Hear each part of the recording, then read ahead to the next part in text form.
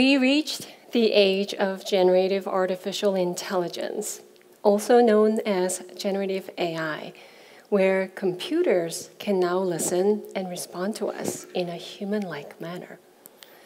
Perhaps you have heard concerned voices around this technology. Any new technology misused can cause harm.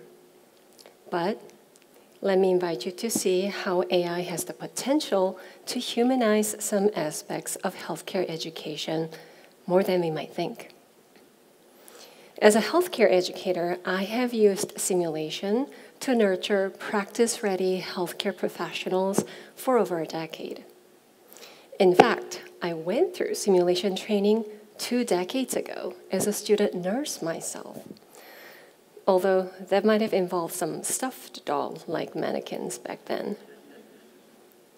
The use of simulation in healthcare education is nothing new, and it has proven to be a valuable way to rapidly advance the knowledge and skills of healthcare professionals. Come along with me and experience the role of a new healthcare provider in training. Imagine walking into a patient's room where you have a patient in the bed. The machines around the patient's bed are beeping, and the monitor shows the patient's heart rhythm. You are the nurse responsible for taking care of this patient, making sure they're receiving the care they need. As a nurse, before giving any medications or injections, you need to verify if you have walked into the right patient's room and if you have the right patient in front of you. You need to verify if you have the right medication and if it's in the right dose. When you're ready to give the medication, you would want to introduce yourself to the patient and explain how this medication is going to help them. As you are walking through these steps, the machine sounds the alarm. Your patient is having an allergic reaction, falling unconscious, and you must rapidly respond. You may have to call the other members of the medical team or start chest compressions. This sounds really scary, doesn't it? Your patient's life is at risk, perhaps from an unexpected reaction to a medication, or possibly you've made a mistake. Thankfully, this was all a simulation. The mannequin in the bed is safe, and no one has been hurt. Your instructors were intently watching your every move to provide you with feedback to guide your future practice. You will have an opportunity to reflect on what just happened, trace back your actions, and plan for the future. While you are feeling the responsibility of a clinician acting on your feet and caring for this patient, until very recently, you would be working with a static mannequin that has relatively limited collection of pre-recorded audio responses. So your instructors may end up being the voice of the mannequin, and in these cases, you as a student may have a harder time concentrating on the scenario because you know you're talking to your instructor and you may feel a little nervous or even intimidated by your instructor. Professional actors and actresses may act as patients for you but in these cases, delivery of electric shock or chest compressions on a live acting patient must, of course, be rightfully limited. So, oftentimes, simulations are conducted with plastic mannequins that do not really prompt the students to communicate with or care for a person in front of them. The use of generative artificial intelligence can bolster educational simulation by making them much more realistic. The Gen AI can bring the mannequins to life and offer more of that human like responses. So they can answer your questions such as, How are you feeling today? allowing for that natural conversations. The voice or the way of communication can also resemble the patient's profile. Just as Siri or Alexa have an accent, the Gen AI can use the patient's chart as a map for how they may sound. You know, masculine, feminine, young, old, hard of hearing, and so on. This presents an opportunity to further augment the simulation experience with a wider variety of scenarios, helping the students feel much more prepared and confident after these simulations. Consider other benefits. The GenAI can serve as a teaching assistant or a research assistant. As a teaching assistant, the AI could summarize the students' performances and offer initial suggestions for feedback. This frees up the instructor to focus on observing the students to provide them with personalized feedback. As a research assistant, the AI could gather initial information and evidence to answer questions such as what may be additional considerations if the situation occurred on an airplane?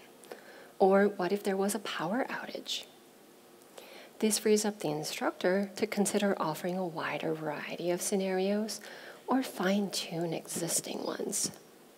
So, now let's go back and reimagine our simulation enhanced by the power of AI.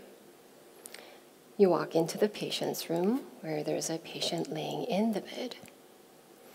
This time, the patient senses that you have entered the room and asks who you are and why you're there.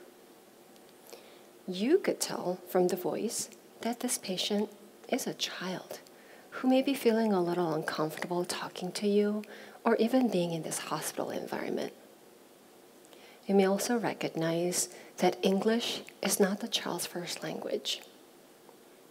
When you explain you're the nurse taking care of them today, they note that their parent went out to grab food for their sibling.